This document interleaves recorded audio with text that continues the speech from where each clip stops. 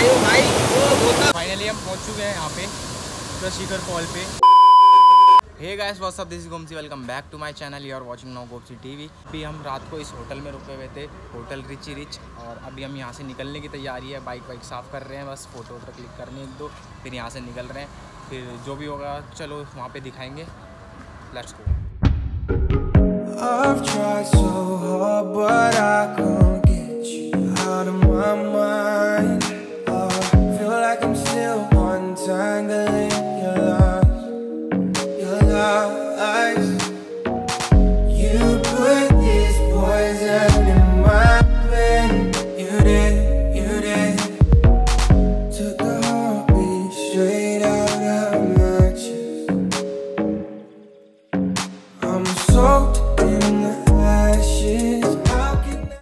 Finally हम पहुँच चुके हैं शिखर फॉल तो यहाँ पे हमने गाड़ी बाइक पार्किंग पे लगा दी है। ये कोई पार्किंग वार्किंग नहीं है वैसे तो यहाँ पे। हमने बाइक पार्क कर दी है और इसके ऊपर है शिखर फॉल, लेकिन वहाँ पे बाइक वाइक नहीं जा सकती तो हम यहाँ से पैदल जाएँगे। यहाँ से ज़्यादा दूर नहीं है, पाँच मिनट का रास्ता होगा। ऊपर जाके वहाँ पे मैं आपको व्यू दिखाऊँगा और ये भी बताऊँगा, दिखाऊँगा कि पानी साफ़ है या नहीं है, क्योंकि बहुत सी वीडियोस में देखा है मैंने कि पानी साफ़ होता है, लेकिन नहीं होता। चलो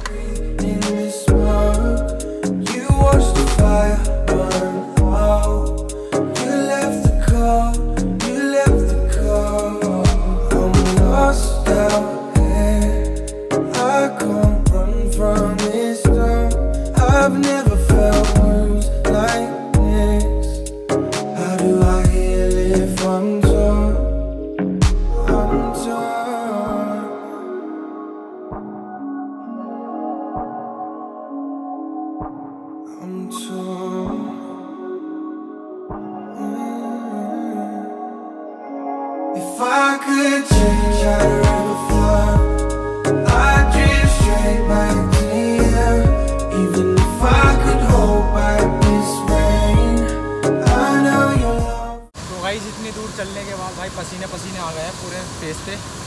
तो भाई चढ़ाई बड़ी, थोड़ी मुश्किल है, लेकिन ज़्यादा लंबी चढ़ाई नहीं है। और फाइनली हम पहुँच चुके हैं यहाँ पे पूरा शिखर फॉल पे। और बाकी पानी तो वही सबके जैसा ही है, जो मिट्टी कलर का होता है, जैसे ऋषिकेश में और हरिद्वार में वैसे ही है यहाँ पे भी पानी वानी।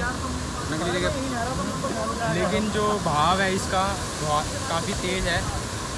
तो कोई नहा भी नहीं रहा यहाँ पे अभी। समझ नहीं आ रहा कि यार नहाए ना नहाए। तो देखते अभी।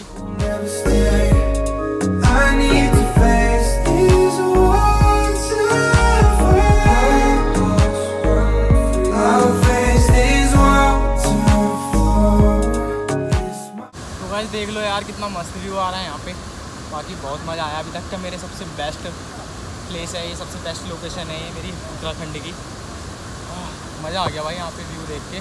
और अभी तो और ऊपर जाना है, ये देखो रास्ता। चलो, चल रहे तो गाइस अभी हम यहाँ से आए हैं और आगे देखो, आगे भाई बहुत ही ख़तरनाक रास्ता है और ये पानी है, ये पता नहीं कितना गहरा हो सकता है। तो इसलिए हम इसके ऊपर चढ़ के जा रहे हैं और हमने अपने सारे जूते, चप्पल सब कुछ यहीं खोल दिए है। ताकि भाई पैर वैर ना फिसल जाए, ताकि जूते वूते वहीं ना धसा रह जाए। इसलिए हम वहीं से यहाँ से नंगे पैर चढ़ के जाएँगे यहाँ से। और आगे बाकी बहुत अच्छा व्यू है। तो बस उसी के लिए जा रहे हैं। ठीक है। देखो, ये छोटी सी चट्टान देख रहे हो, इसको टाप कर अभी हम यहाँ पे आए हैं भाई खतरों से खेल कर आए हैं। पूरे में पानी है। कुछ पता नहीं कि कहाँ पे गड्ढा है, कहाँ पे गहरा है। वो भी बस बहुत ही मुश्किल से आए हैं। और आगे देखते हैं भाई, जाते नहीं जाते, क्योंकि बाकी भाई आगे बहुत ही खतरनाक रास्ता है यार। डर सा लग रहा है। इससे आगे जाने की हिम्मत नहीं है। देखते हैं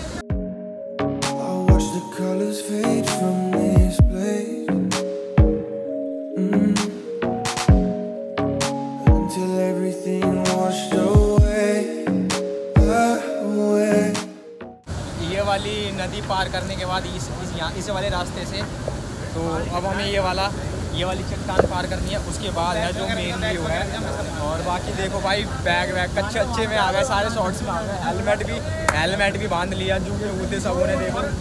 जूते वूते भी बाँध लिए बाकी। अब हम जो है ये पहाड़ चढ़ के ऊपर क्रॉस करेंगे फिर उसमें आपको पानी कितना रहा है वो निकल असली भाई नेचर का मज़ा ले रहे हैं भाई हम तो लेकिन रियल मैन में बोल सकते हो। पहले देख लो अभी कितना बड़ा डंडा है। ये देख पहले डंडा दिखा दो कितना डंडा बड़ा है। अब मैं इसको डालता हूँ हाँ। और फिर आप देखना। अबे वो डालता हूँ डल जाएगा कट्ठा ही। अब बहुत गहरा है भाई बहुत गहरा है वो। वो टनल है वो जाली लगी हुई जो टनल है वो। अंदर कूदेगा क्या? भाई पूरा डंडा अंदर पानी में डूब गया भाई। हाँ बेटा। ये देखो भाई पूरा डंडा डूब गया भाई। इसलिए भाई हर जगह रिस्क है यहाँ पे भाई देख के चलना पड़ रहा है थोड़ा भाई।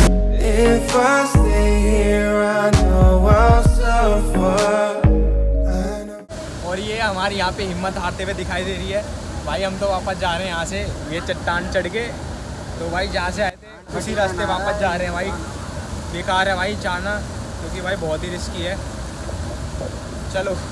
अभी हम वहाँ से आए हैं ऊपर से। और हमने जूते वूते जूते वूते खोल दिया हमने भाई। बिकॉज़ पैर बहुत आ गए। हो रहे हैं। क्योंकि भाई बहुत ही slip हो भाई रहे देखो क्या है। नीचे देखो भाई कितना गहरा है। चप्पल पहन ले अपनी पहले। भाई पैर फिसल रहे देखो ना गीली हो रही है। गड़ बोला जाएगा किसी के भाई जान मारा जाएगा कोई बात नहीं। भाई वैसे देखा जाए ना बाद में दिखेगा नहीं कुछ हाँ। अभी उतर लो भाई फिर अंधेरा हो जाएगा ना फिर नहीं उतर पाएँगे हम। वहाँ देखो यार कैसे बादल ही बादल नीचे आ चुके हैं सारे पहाड़ के ऊपर। अभी हमारे सर के ऊपर भी बादल आ गए थे, देखो। पूरे में बादल ही बादल है।